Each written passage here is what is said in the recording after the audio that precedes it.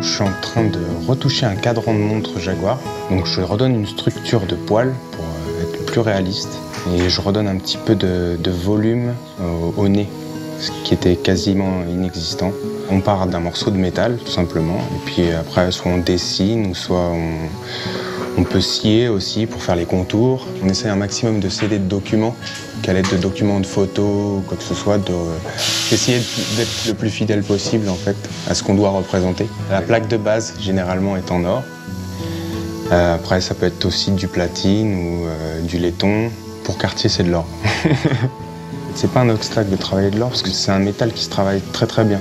Peut-être qui est assez mou et qui est dur aussi en même temps mais qui n'a pas trop de différence de densité dans le métal. Je vais pouvoir être assez régulier du début à la fin du trait. Il faut avoir une, pression constante, mais en même temps, quand on arrive en fin du trait, par exemple, il faut relâcher la pression de façon à ce que le trait finisse doucement et que ça ne soit pas brutal.